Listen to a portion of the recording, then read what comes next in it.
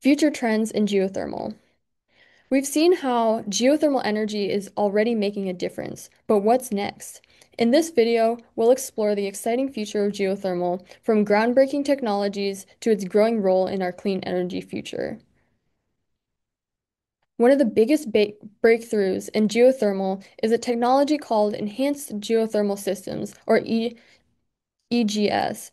Traditionally, geothermal power has been limited to areas with naturally occurring hot water and steam, but EGS changes the game.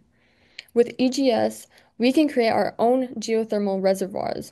We do this by drilling deep into hot, dry rock and then injecting water at high pressure. This creates a network of fractures, allowing the water to circulate and heat up. We can then bring this hot water to the surface to generate electricity. EGS has the potential to unlock geothermal energy almost anywhere in the world, making it a truly global energy source. Another exciting trend is the development of hybrid geothermal systems. These combine geothermal with other renewable energy sources like wind and, solar to create a more reliable and efficient power supply. For example, a geothermal energy plant can provide a constant baseload power supply, while solar and wind can provide extra power during peak demand.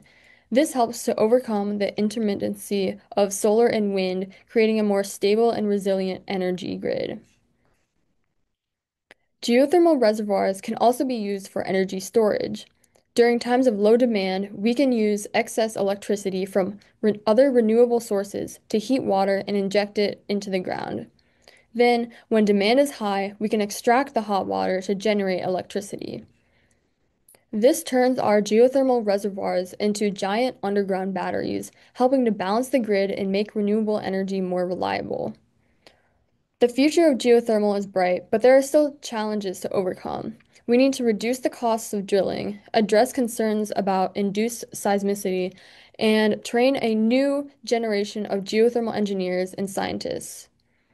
But with continued investment in research and development, geothermal energy is poised to take a major role in our transition to a clean energy future.